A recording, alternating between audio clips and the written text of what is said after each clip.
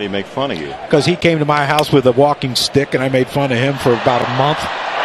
Off the deflection, Didi Gregorius somehow. There is out number two. Stott cut in front. It ricocheted up the middle, and they eventually get Gomes through brilliance from Didi Gregorius. And apparently, this is the only way you're going to get Yan Gomes out today. Happ stealing second base, going there up the